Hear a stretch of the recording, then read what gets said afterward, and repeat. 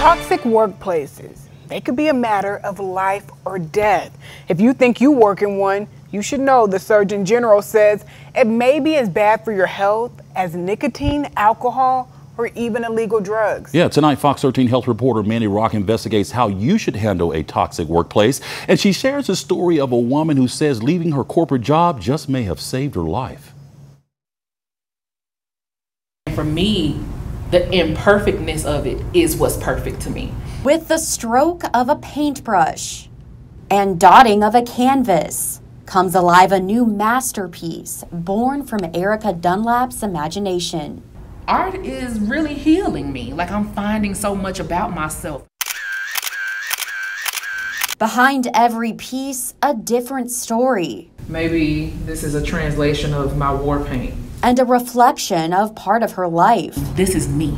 This is all mine. The full time artist and photographer spends most of her days here in the studio, but this wasn't always her reality. She spent 20 years working as an administrator in corporate fashion. Especially in the black community, we're taught by our ancestors and grandmothers that working a job is honorable and staying on a job is honorable. Well, they never tell you that during those 30 years you may be mistreated, uh, you may have mental breaks, you don't have time with your family. At one point, Dunlap said her work environment was stressing her out so much she had to take 10 months off to reset and see a therapist. As soon as I returned, my mother was sick and she passed away. And during that time, I experienced a lot of mishandling at work, um, mistreatment, even getting written up for taking care of my mother. It also took a toll on her physically. I always had sinus infections, ear infections, uh, respiratory infections, things like that. And I never realized how bad it was until I wasn't there. Dunlap is not alone. Nearly one out of five employees say their place of work is very or somewhat toxic, according to a poll by the American Psychological Association. Letitia Glaspie Harris, a licensed professional counselor in Germantown, says a bad work environment can affect employees by making them feel demoralized and disengaged.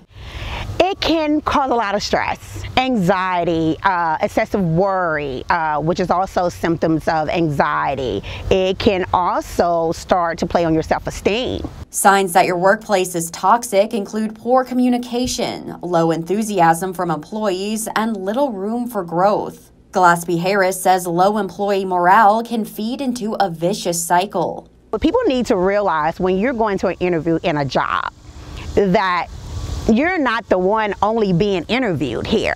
You need to do your research on that company to see if there is a reason why they have a big turnover.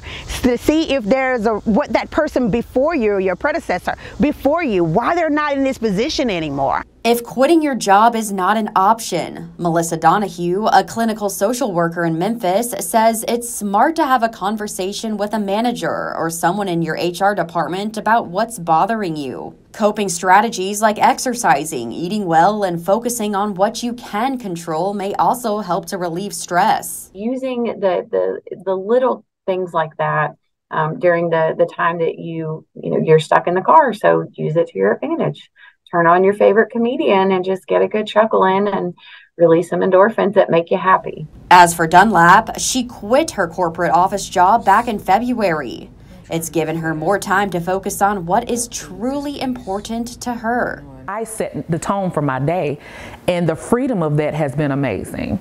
Her experience, a reminder that people are more than just their jobs.